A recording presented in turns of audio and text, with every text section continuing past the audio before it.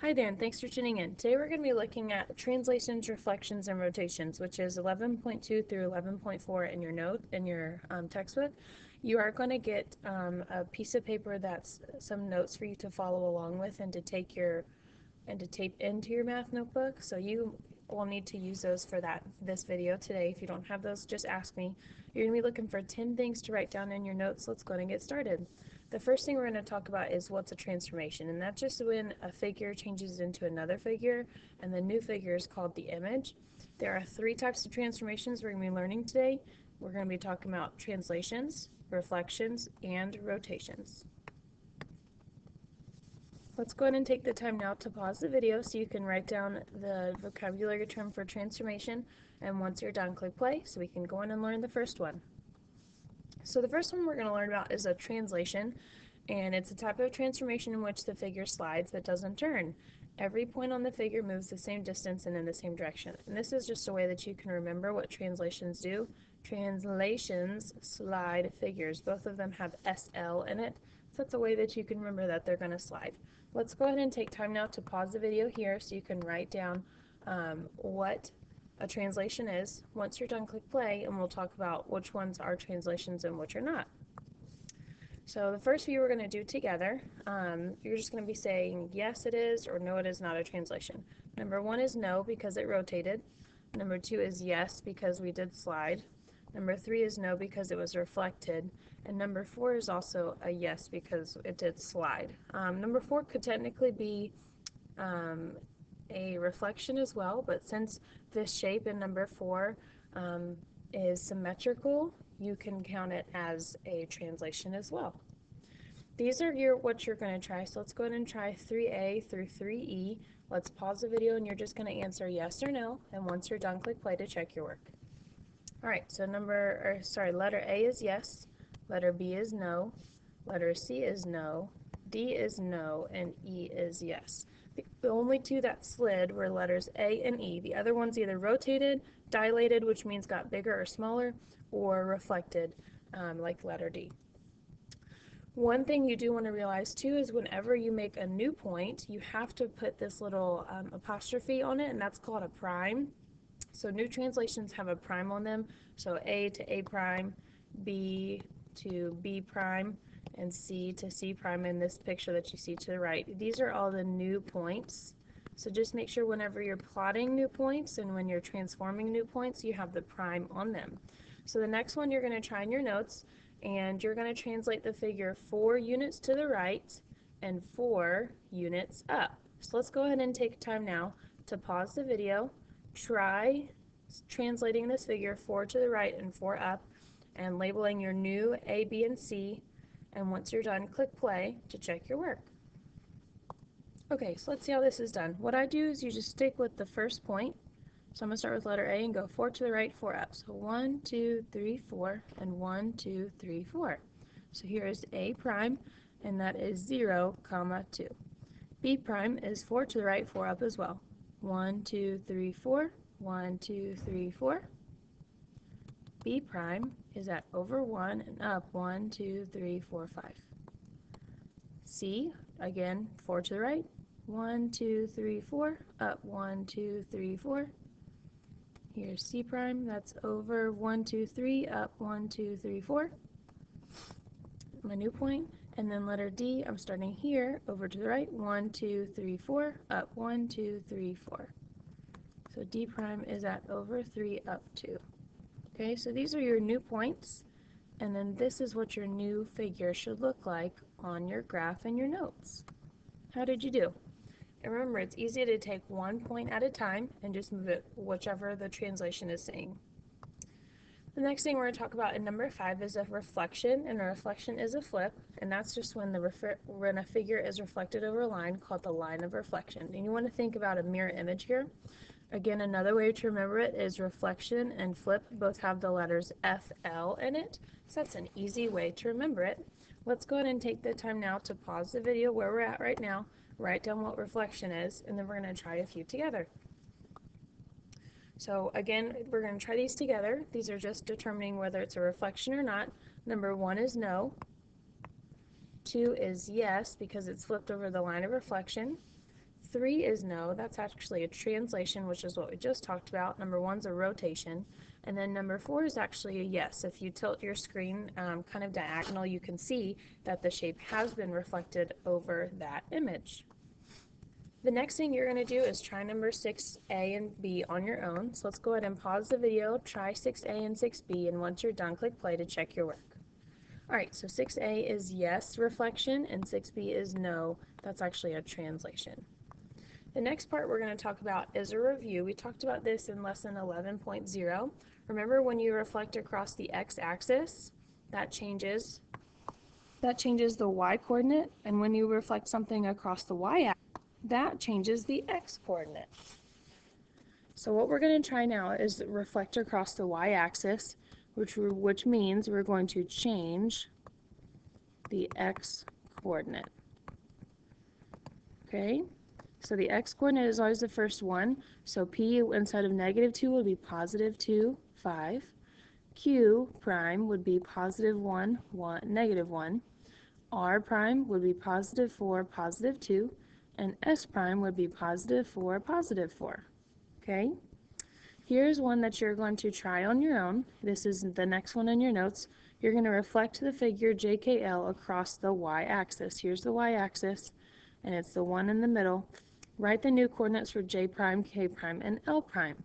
So go ahead and take the time now to pause the video and you're going to reflect across the y-axis, which means you're going to change the x-coordinate. Alright, so j prime will be over here. It's really easy to figure out too. Here's your y-axis, and you just count how far away is j from the y-axis. It's one, two steps away from the y-axis, so it'll also be one, two steps away on the other side. k prime, same thing. Here's k. It's one, two, three, four steps away on the y-axis, so we're going to keep going one, two, three, four on the other side. This new point for k prime is over 1, 2, 3, 4, down 2. And then j prime, sorry, was over 2, up 3. The last one, L prime, is one step away from the y-axis. So we're going to do one step on the other side. That point is 1, negative 1. And then you just connect your points together. Okay? The last thing we're going to talk about is a rotation, and this one is probably the trickiest one of all to remember to do. Um, rotation just means to turn. That one should be really easy to remember. And there's also always going to be a center of rotation, and that just means that's what the shape rotates around.